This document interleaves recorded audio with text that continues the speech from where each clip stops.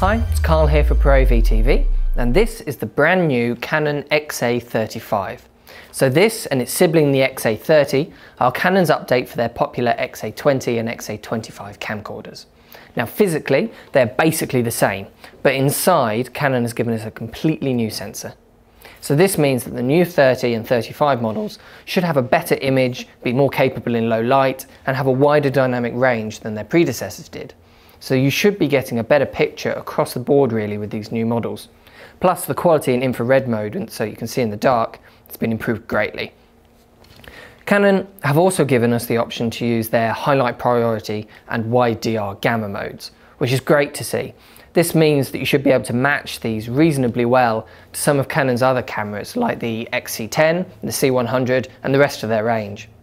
Wide DR, it doesn't give you a full-blown log file like Canon C-Log does, but instead it gives you a slightly flatter image with more highlight and shadow detail, but without you having to do any of the work in post to make the image look good because it's not quite as flat as normal log files. So it is very useful to have. The only difference between the XA30 and the XA35 is this HD SDI connection on the side here. Apart from that, they are the exact same camera.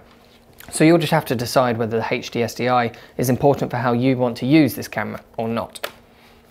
Now, I see these cameras being great for anyone who wants a small flexible camcorder package with a long zoom range, but still needs the professional XLR connections on the top. If you're looking for a camera to shoot news, journalism, events or blogging or anything like that, the XA30 and 35 could be a really good choice for you.